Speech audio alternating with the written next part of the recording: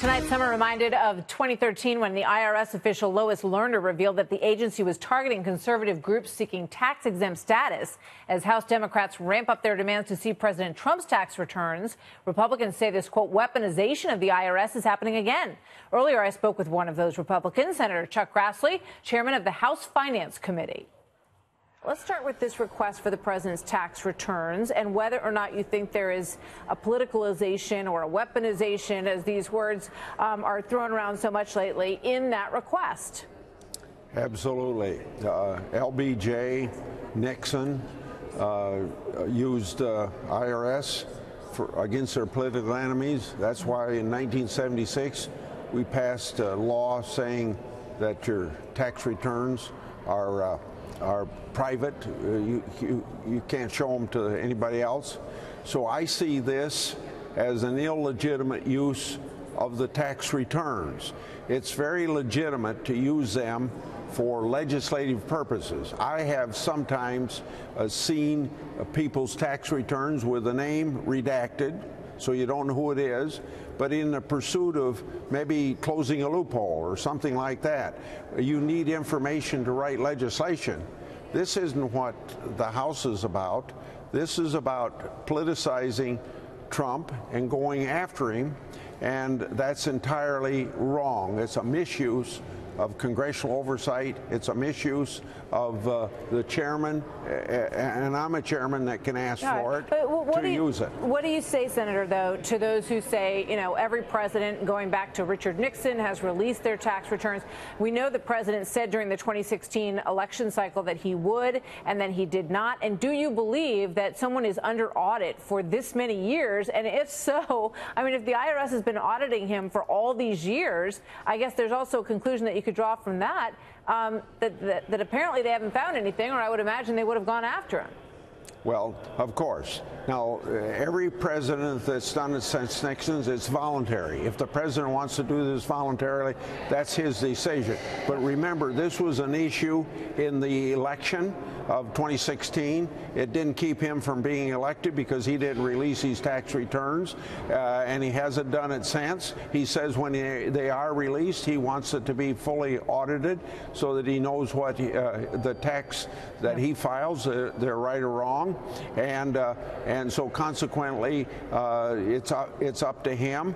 But uh, you can't use the power of being chairman of a committee, I don't feel I can, uh, to politicize the same way Nixon did to go after his political enemies. And they obviously consider Trump a political enemy. All right. Let me ask you about a letter that you sent uh, to the Attorney General, William Barr, about concerns that you had over emails that were part of the Mueller investigation. What are the concerns that you have with regard to some of the people who were investigated, and what are you what are you digging for here? What, what are you hoping that you're going to learn through this process of this letter to Bill Barr?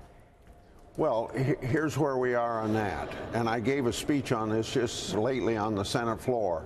Uh, it, it, deals with uh, people going after the Mueller report uh, and wanting to see it fully, uh, not uh, in, in, a non-redacted version. And they seem to be uh, religiously pursuing that at the very same time that a lot of us have been pursuing things that ought to be fully investigated uh, that were similar uh, presumed violations of laws. If you want to investigate something fully and have all the documents, doesn't it apply to all sorts of political interference uh, in the operation of the Justice Department and the politicization of the CIA?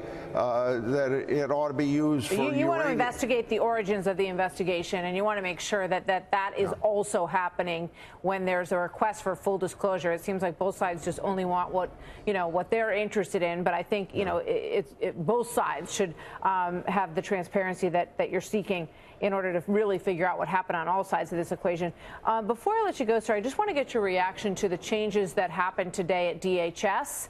Um, and do you think it is right that that Kirstjen Nielsen, the uh, head of the Homeland Security Department, is now moving on. I'm surprised that concerning what the president said last October, and November about her, about ready to fire and everything seemed to have gone smoothly since then. uh, I'm very surprised. Uh, but the president has a right to have whoever he wants, and the acting person is very well qualified. I'm worried about what I have seen further down in the bureaucracy, like in the Immigration Service, where I know uh, Director Cissna of that, and I know his policy uh, director there uh, because uh, the policy director, Kathy, worked for me for 17 years. Uh, Cissna was on my staff as a detailee for three years working with Kathy. They are now the policy people down there that give an intellectual and a policy basis for exactly the uh, policies that the president wants in immigration. And it would be uh, a real mistake if they go that far down into the bureaucracy to fire good people like that that I've worked with for 17 years. All right, Senator Grassley, thank you very much. Good to see you tonight, as always, sir. Thanks for being you. here.